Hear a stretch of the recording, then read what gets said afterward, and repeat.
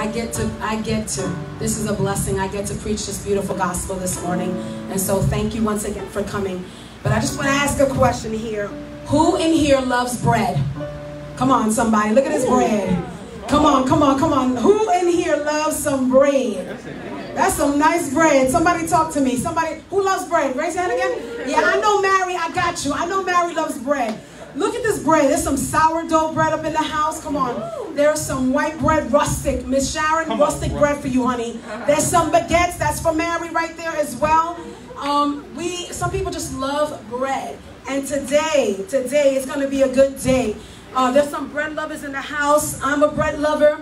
Um, but today, I just want to tell you, I'm going to minister. Today, I'm going to minister on the true bread. The true bread. There's some bread here, and I, I just don't, you know, I like to share. So just to, to, to Mary, Mary, I know you're a baguette lover. Come on, Mary. Somebody pass it to Mary back there. Pass that bread to Mary back there. Come on. I love some bread, but today I want to speak to you about the true bread. The true bread. There's a true bread. Who knows what I'm talking about? It's some true bread. He's called the bread of life. Amen. I, I know Miss Miss Sharon, it's your birthday, so I just gotta pass this to that side. Miss Sharon gets some bread. Somebody pass that bread to Miss Sharon back there. And um, I just gotta give a visitor on this side, because come on, who wants this bread? Anybody? There you go. Raise your hand. Take that bread. That's the little bowl bread, the sourdough. I, I, you know, I like to share. This bread looks amazing. I'm to probably tear it up after this, you know, this scripture. Praise God. But I just wanted to put it right before you. Because there's all kinds of bread. There's sourdough bread, and there's the, you know, the baguette there, and there's the white bread, and there's pumpernickel bread, and there's wheat bread. And But today, church, today, I want to speak to you about the true bread. The true bread. The title of this message is The True Bread. And then the subtitle is How Does a True Believer Encounter the True Bread? Amen. Amen. So if you're taking notes today, if you're watching online, how does the true believer encounter the true bread? I'm going to read some scriptures. Let's go to the book of John, chapter 6, verse 25. Stay with me. If you have your Bibles, if you have a phone, you can take it out, open up your apps. Read with me. Beginning with 25, verse 25, it says, When they found him on the other side of the lake, they asked him, Rabbi, when did you get here? And Jesus answered, Very truly I tell you, you are looking for me, but not because you saw the signs I performed, but because you ate the loaves and you had your fill. Verse 27, Do not work for food that spoils, but for food that endures eternal life, which the Son of Man will give you. For on him God the Father has placed his seal of approval. Then they asked him, What must we do to do the works of God requires? And Jesus answered, The work of God is this, to believe in the one he has sent. To believe in the one he has sent. Verse 30. So they asked him, What sign then will you give that may that we may see it and believe you? What will you do? What will you do? They're asking all these questions. Our ancestors ate the manna in the wilderness as it is written. He gave them bread from heaven to eat. And Jesus said to them, Very truly I tell you, it is not Moses, come on, it is not Moses who has given you the bread from heaven, but it is my Father who gives you the true bread from heaven. 33. For the bread of God is the bread that comes down from heaven that gives life to the world. Sir, they said, always give us this bread. And then Jesus declared, I am the bread of life. Whoever, whoever comes to me will never go hungry, and whoever believes will never be thirsty. But as I told you, you have seen me, and I still do not believe. But I told you, you have seen me, and you still do not believe. All those the Father gives me will come to me, and whoever comes to me, I will never drive away. For I have come down from heaven not to do my will, but to do the will of him who sent me. Verse 39, I'm closing with these two. And this is the will of him who sent me, that I shall lose none. That is the will of the Father, that he shall lose none of all those who has who he has given me, but raise them up at the last day. For my Father's will is that everyone who looks to the Son and believes in him shall have eternal life, and I will raise him up at the last day. Father, we thank you for the word. We thank you that it's already living and active, and I thank you that it will not return void in Jesus' name. Today, I want to speak to you about the true bread, man. Look, I'm just in love with Jesus. I'm in love with Jesus, and He's the true bread. And we're just going to take these scriptures down and we're just going to break them down. We're just going to dissect a little bit. So, verse 25, when He says, When they found Him on the other side of the lake and they asked, Rabbi, when did you get here? Jesus answered, Very truly, I tell you, you are looking for me, but not but uh, not because you saw the signs I performed, but because you ate the loaves in the fields. Do not work for food right here. This is a key. Do not work for food that spoils, but food that endures eternal life, which the Son of Man will give you on. Uh, on him, God the Father has placed the seal of approval. Jesus criticized the people in this point, in the disciples, because they followed him only for the physical and the temporal benefits. Come on. And not to satisfy their spiritual hunger. Jesus doesn't want us to follow him for what he can give you. He's definitely not a sugar daddy. He's not a gimme God. He's not a God that we just go to about bless me and give me and give me and I need this and I need that. So he's telling the disciples, you you you came here because you're looking for signs, but you, you don't even believe. He says, right here, do not work for the spoils. This food is not is it, it's not gonna last. So he's saying, look, don't look for the benefits, but come on, disciples, come on, people of God, to, to look for the things that are going to satisfy and going to give you spiritual hunger. Yeah. We as believers must be careful not to fall in the same traps. Yeah. These men walked with God. These men saw they were with him, and then a little bit later it says they didn't even believe. So the first point I want to give you, how does a true believer encounter the true bread? Is number one, we follow Christ because he is truth. Yeah. And his ways lead to life. Number one, if you're taking notes, we follow Christ because he is truth and his ways lead to life. John 14, 6 states this. I love the scripture. Jesus said, I am the way, come on, the truth and the life. No one, no one comes to the Father except through me. That is number one. We're moving on, 28. And then they asked him, What must we do to do the works that requires? And Jesus answered very simply the work of God is this to believe in the one he sent. I could just imagine sitting there, they're sitting with Jesus and they're waiting for this elaborate soliloquy yeah. that Jesus is going to go into and pour out these 10 points of boom, boom, boom, boom. This is what it is. This is, this is how you please the Father. This is the work of the Father. This is how you're going to please the Father. And, and he simply says, you believe in the one he sent, right? You believe in the one he sent. Verses 29 says, Many sincere seekers of God are puzzled about what God desires them to do. I think sometimes we just think that it, it's a work basis and we got to do this to gain God's love and we got to do this to receive from God and we got to do all these things. True believers, people that love Jesus, that have accepted Jesus as Lord and Savior, sometimes we are obtaining this love. Sometimes we're, we're trying to obtain, we're trying to seek out what is this? And even, uh, what is this? And even in the Old Testament, if you remember, for those that are familiar with the story of Elijah, maybe not everybody's familiar with the story, they were cutting and slashing themselves um, to a false God, and he never came. So we don't, we're not here seeking a God of wood and stubble.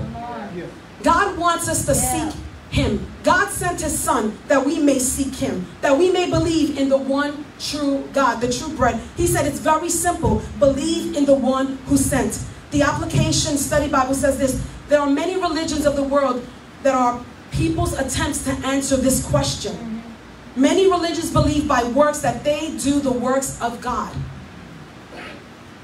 They're trying to figure out how can we get to God? How can we do? And Jesus simply says, believe in the one I sent. Believe in the one I sent. Is it that simple, Pastor Liz? Absolutely. Believe in the one I sent. So point number two, if you're taking notes, it is we believe in whom God sent. And why do we believe? Come on. We believe in whom God sent because we can obtain this eternal life because the one God sent died on the cross for all of humanity. That's why we believe in the one God sent. He died for all of humanity. Another point, number two, underneath, sub point number two. We can be set free because of the one God sent.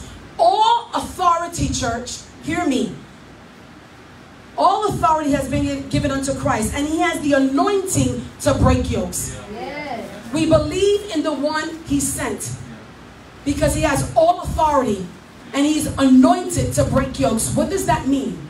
That if you are carrying a stronghold, if there's an addiction in your life, if there's a stronghold, if there's something that you know does not please the Father, or it doesn't even please you, and you just cannot kick this habit, whether it's a habit, it's a stronghold, you can label it what it is, but it's something that you cannot control in your life that you are not pleased with, or the Heavenly Father is not pleased with. God sent His Son Jesus, and He has all authority all authority on this earth, and he has the anointing to break the yokes. There's a scripture in the Bible that says, the anointing breaks yokes. And guess what, church? He's given it to us.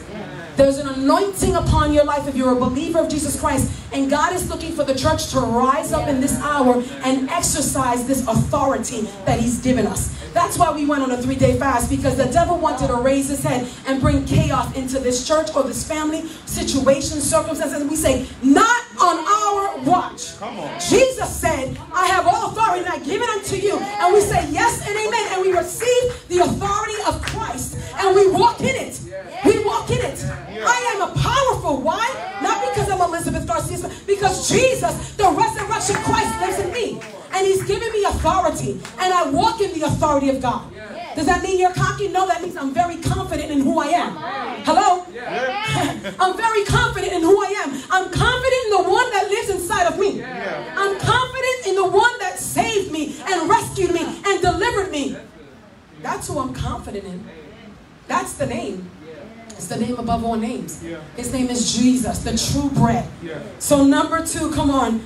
Number two, we believe in whom God sent.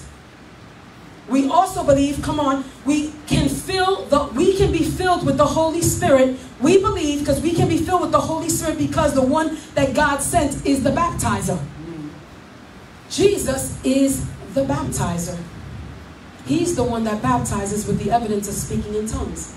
We believe in the one that God sent because Jesus is the baptizer. And four, we can rest because the one God sent does not sleep or slumber. I'm here to tell you, you might have had sleepless nights, but I'm here to tell you that Jesus is never sleeping. Jesus, the Bible says that he is the great intercessor. He's uh, sitting at the right hand of the Father, making intercession for you and for I. What does that mean? He is praying for us. He's seen the struggle. He sees the difficulty on this earth. He's seen Hurricane Ida. He's seen college students. You have to come to school and fly back home. Some of you displaced in Dallas, some of you here, some of you there. But guess what? Take at heart because the true intercessor, Jesus, does not sleep or slumber. He is praying for us even now. So there's a resting in that. There's an excitement in that, that knowing that this Jesus that we serve, the one he sent, the one God sent, we can rest in that and be assured that he's praying for us and he's covering us in prayer. And I'll just go a little step. That's why the house of God, the assembly of God, the people of God are so important. Because not only Jesus, but we are praying for one another. We are covering each other in prayer. We are uh, with God. We are, we're here crying out for God, even on Wednesday nights, just believing God for our community, for just restoration, for you college students. Just believing God that God would do a work in you while you're here in New Orleans from wherever you came from. God is very strategic. There's no accidents with God. God has sent you to the city for such a time as this. And I just want to say, enjoy the journey. Enjoy the journey. When I was doing my doctorate, that was what they told us. Enjoy the journey. Oh, Lord, help me, Jesus. Yeah, just enjoy the journey. It is a marathon, it's not a sprint. So enjoy these years. Enjoy it. Receive. Amen. Verse 30. So they asked him, What sign then will you give that we may see it and believe you? What will you do? Our ancestors ate manna. I'm going to skip all the way down because I read it for 30, um, 34. Sir, they said, Always give us this bread. Then Jesus declared, I am the bread of life. Whoever comes to me will never go hungry, and whoever believes in me will never be thirsty. It's just a key, it's a key scripture right there. People can eat bread to satisfy, come on, the physical hunger and to sustain a physical life. People eat the bread, bread, regular bread, to satisfy physical hunger, to sustain a physical life. We can satisfy spiritual hunger sustain spiritual life only by a relationship with Jesus Christ. Amen. There's Amen. nothing in this world that can satisfy you but Him.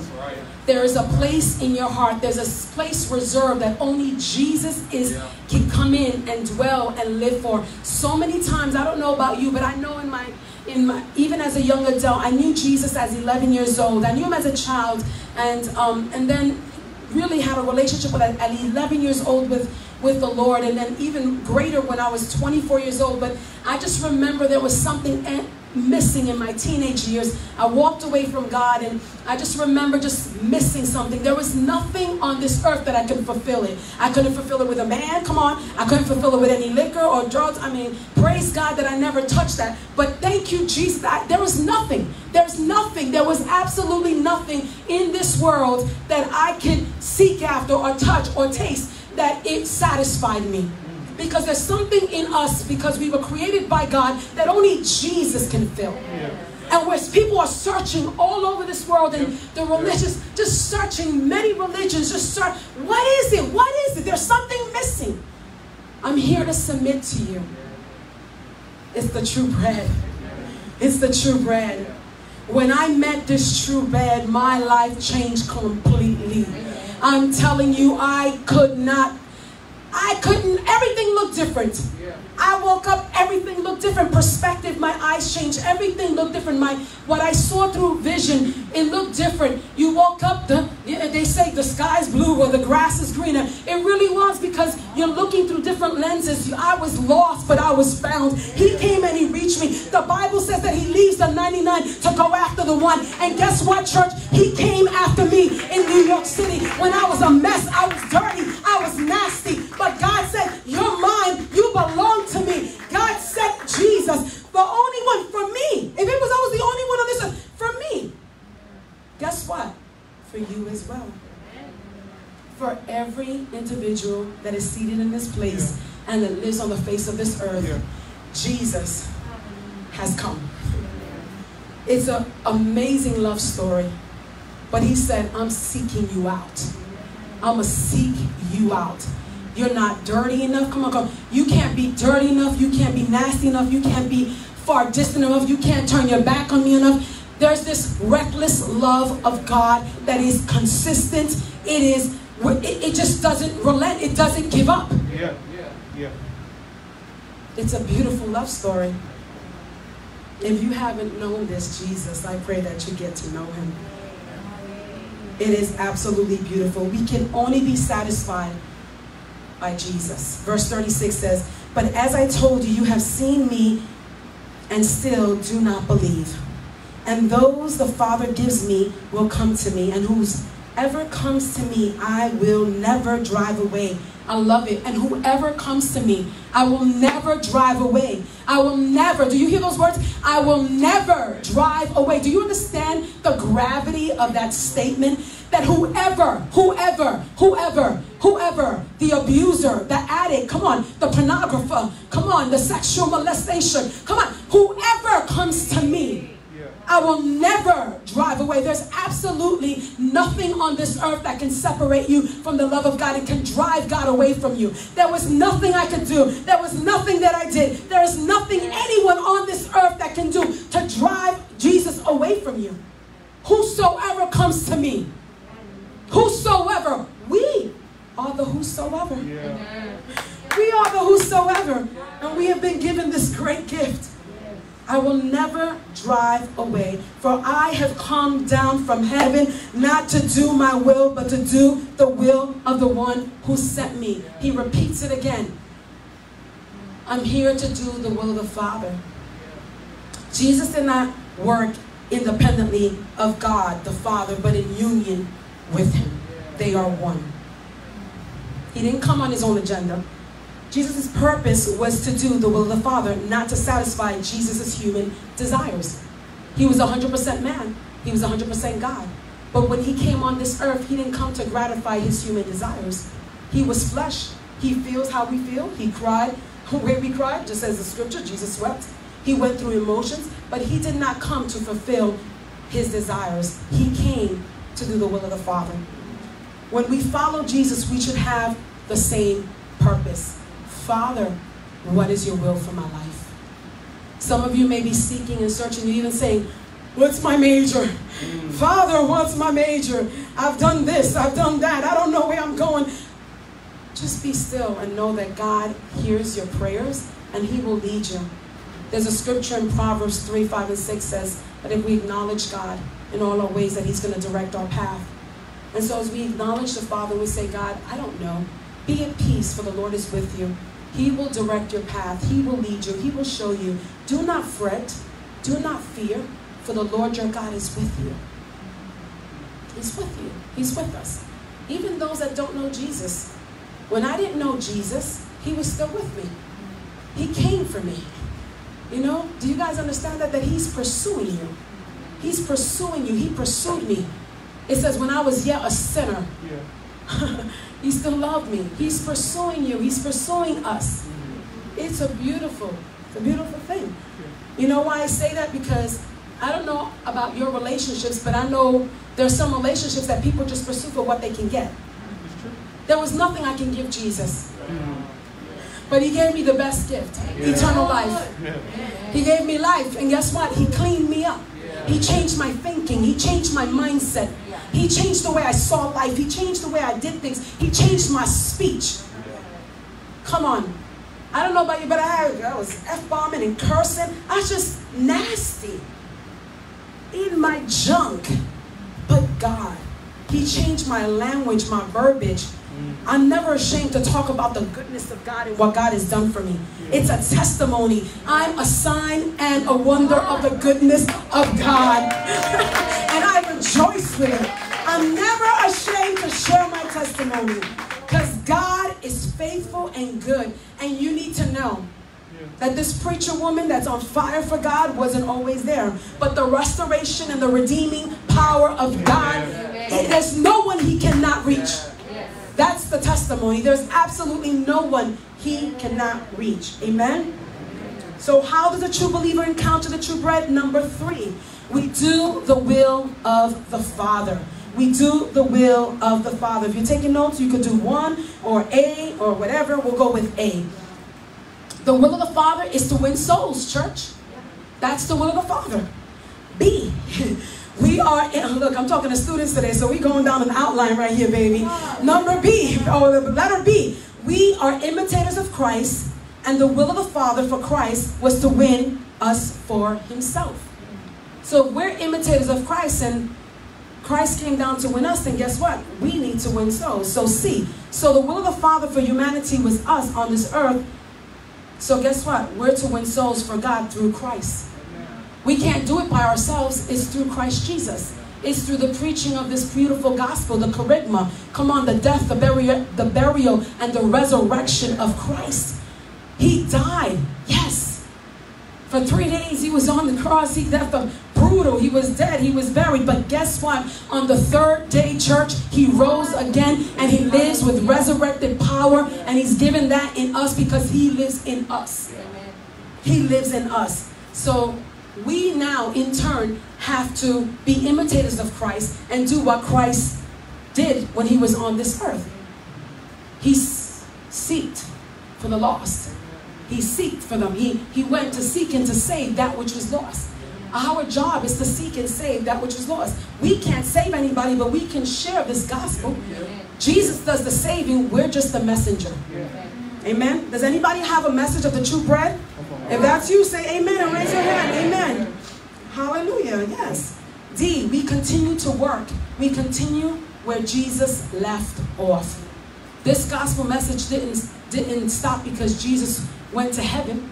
He has empowered us. He has commissioned us. Matthew, come on, Matthew talks about going out, going out and making disciples. Matthew 28, the last that last thing, Jesus is about to go into heaven and he commissions us to go forth and to make disciples, baptizing in the name of the Father, Son, and the Holy Spirit, and teaching them everything that I taught you. He wanted the disciples to teach those everything that Jesus taught them. And then he says this I'm going to be with you forever. I'll be with you. So we don't have to fear in sharing this gospel. God has commissioned the church, us, believers in Christ, to go forth and do the work of the Lord. Amen. And this is so precious. Number, letter E, we don't have to do it alone. The Holy Spirit. We can only do the work with the help of the Holy Spirit. So we're not in this alone. The Holy Spirit is leading and guiding us and is with us to do this work. 39.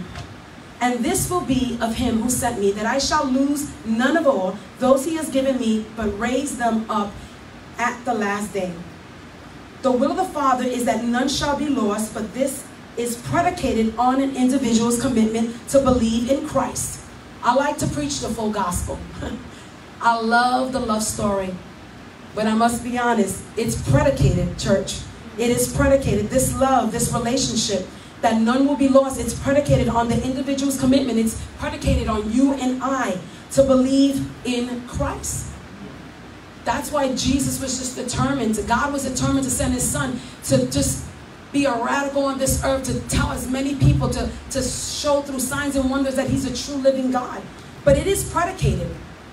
And to walk in authentic relationship with him. He's called us to walk in authentic relationship.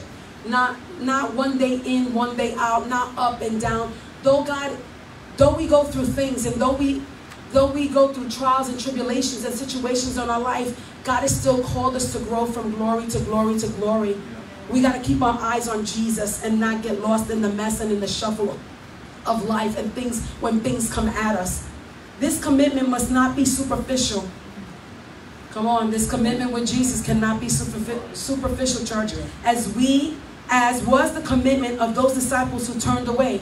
It's very important that I read this to you. In John 6 6, it says this. John 66. From this time, from this time, many of his disciples turned back and no longer followed him.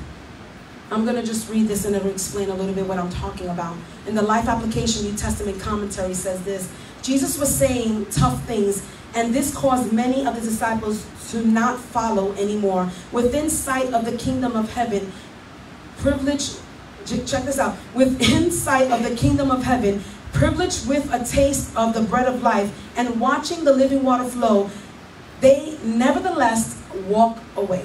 They walked away. In a short sentence, Jesus, uh, excuse me, in the short sentence, John captured one of the saddest moments in the ministry of Jesus. Why did they walk away? Because Jesus preached some hard things. Yeah. Jesus said, you can't be of that anymore. You can't be in light and darkness anymore. You have to choose.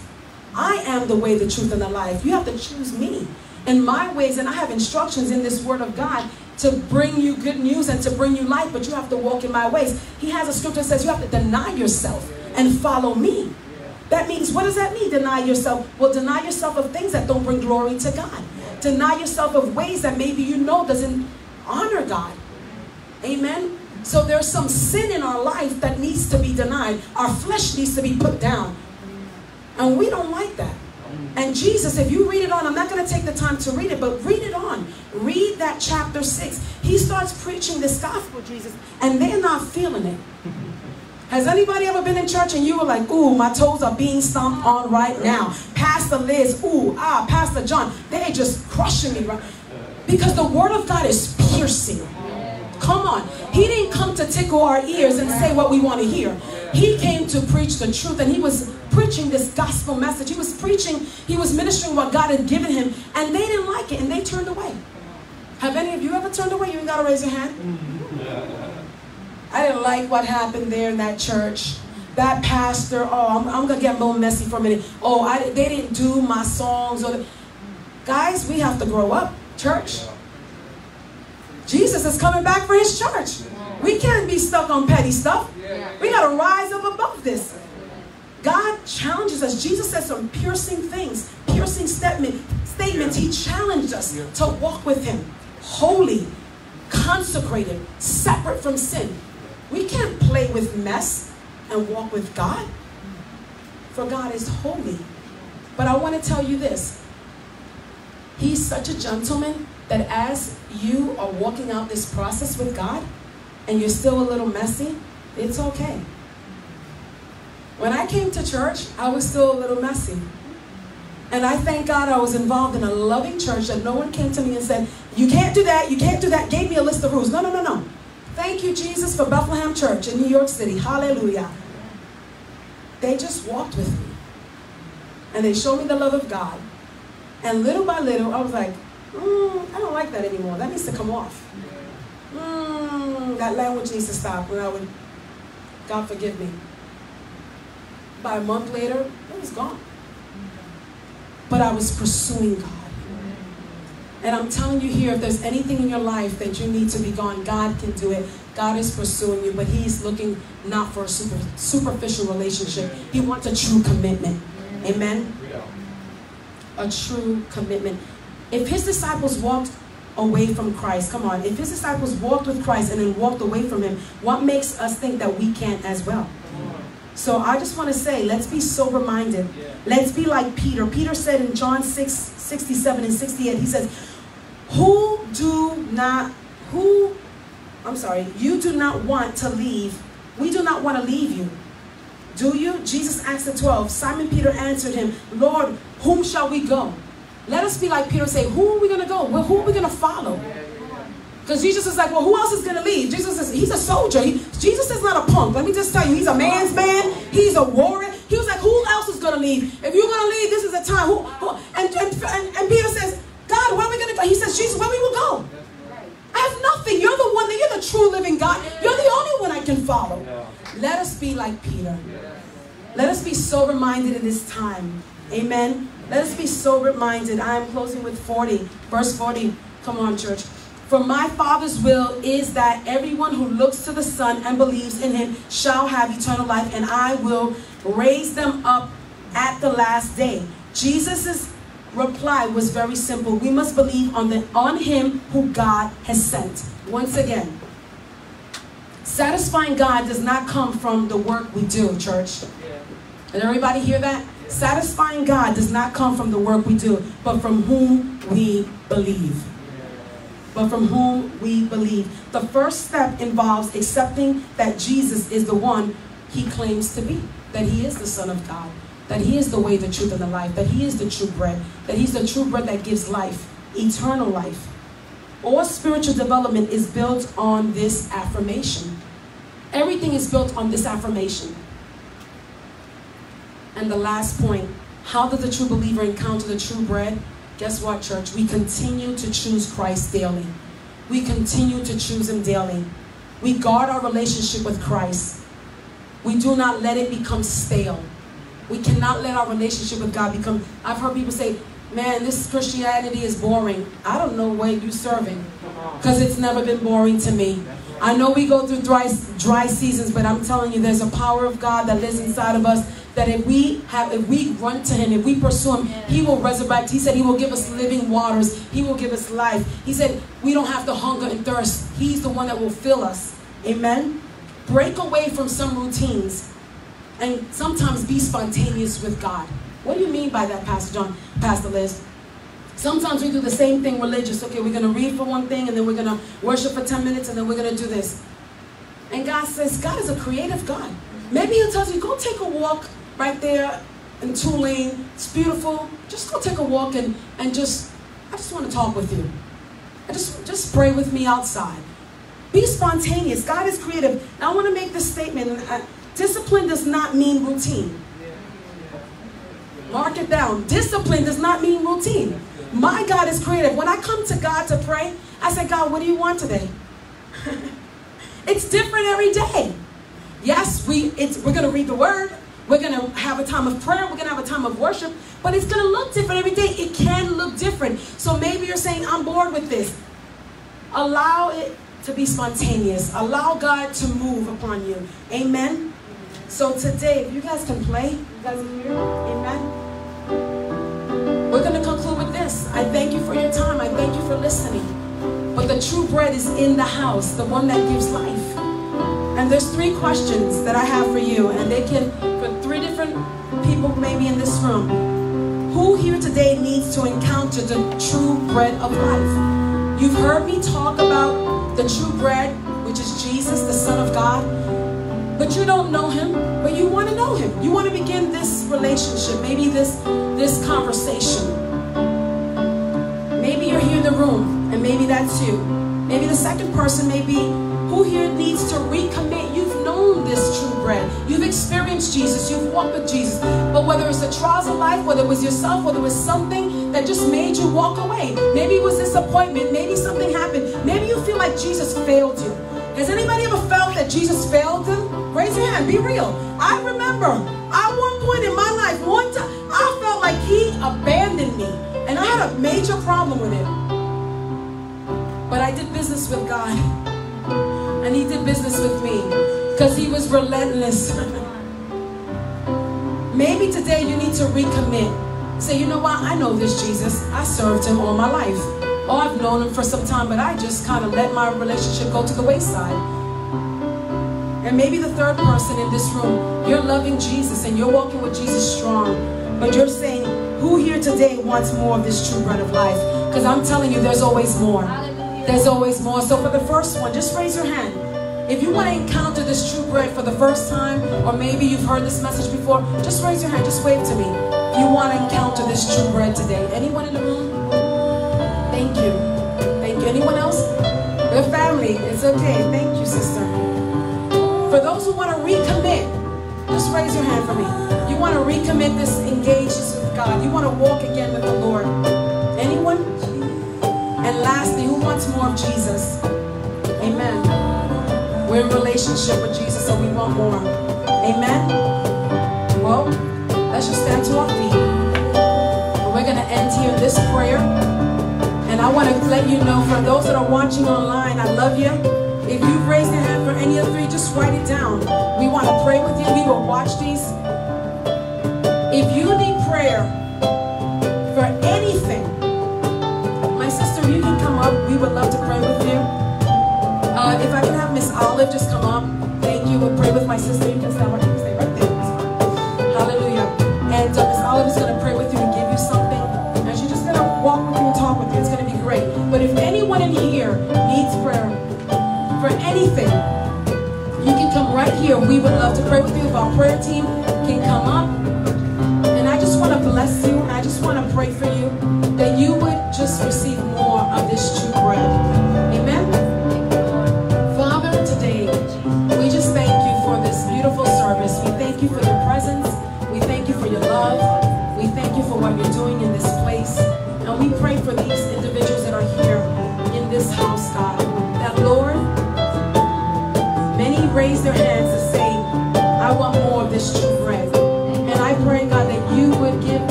Said those who hunger and thirst shall be filled, and that you are the bread of life, and you will give us this bread.